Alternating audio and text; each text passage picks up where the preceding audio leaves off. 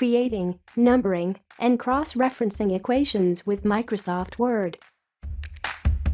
To create numbering equation, go to the References tab and click Insert Caption. Create a new label and type equation in the label box. Click Exclude label from caption.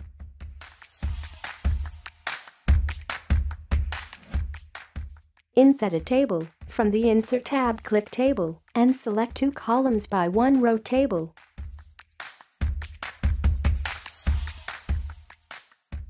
In the left cell of the table insert equation, then copy and paste the caption in the right cell of the table.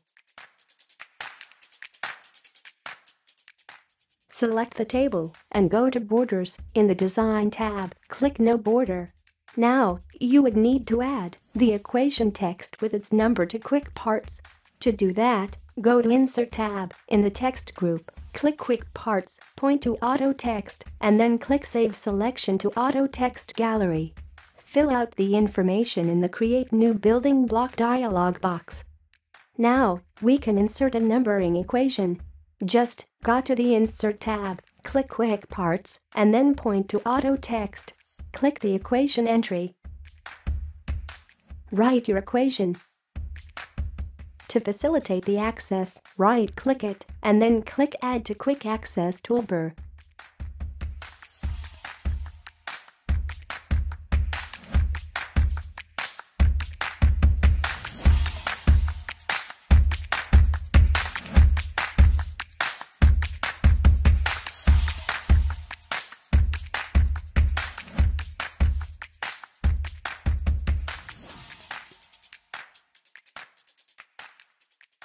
To cross-reference to the specific equation in your document, go to the Reference tab. Then click Cross-reference and from Reference type, choose Equation. A list of the equation's number will appear. Select the equation number you want to insert. From Insert Reference to menu, select Entire caption, then click Insert.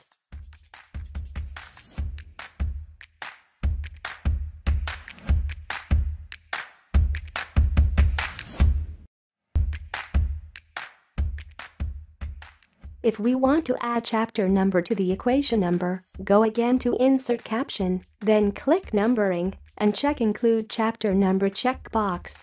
Then click OK.